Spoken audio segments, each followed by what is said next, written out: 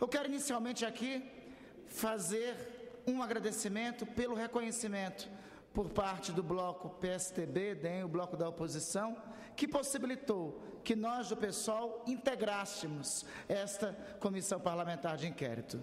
Senti um movimento, Chico, no início um pouco estranho, quando houve uma clara recusa ampliar em mais dois o número de membros dessa comissão, dessa CPI, de 15 para 17 de cada uma das casas do Congresso Nacional, o que possibilitaria, mesmo sem indicação, a participação do Partido Socialismo e Liberdade. Mesmo isso não ocorrendo, a ampliação do número de membros da CPI, houve um reconhecimento, e quero aqui registrar o agradecimento por parte do bloco da oposição, da necessidade de nossa participação.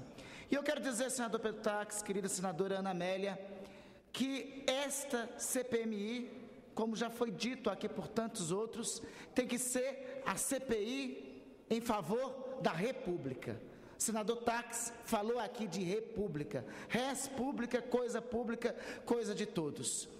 O regime republicano exige, em especial, em primeiro momento, a separação dos interesses privados dos interesses públicos e a atuação em função do munus público e dos interesses da República.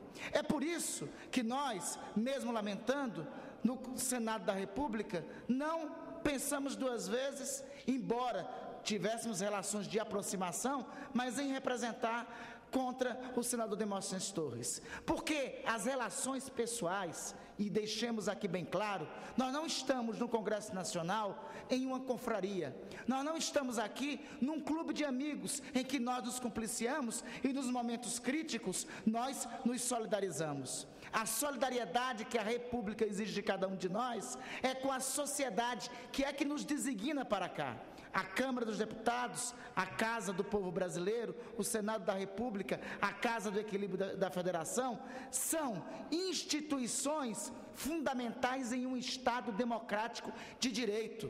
Aqui, então, não pode, em hipótese alguma, existir entre nós qualquer tipo de proteção, qualquer tipo de cumpliciamento, mas tem que existir a compreensão das necessidades republicanas. E a República é o regime, a forma de governo que exige dos indivíduos que compõem essa casa, que compõem o Senado da República, inclusive o sacrifício dos interesses privados e particulares em função do bem público. E não o cumpliciamento com os interesses privados e particulares, como se denota nos conjunto, no conjunto de casos que esta CPMI que hoje instalamos retrata mais um. Conjunto de casos que retratam concretamente qual é a mãe, Chico, de todas as corrupções. Vejamos as CPMIs anteriores, anteriores, bingos, mensalão, anões do orçamento, todas estão está na raiz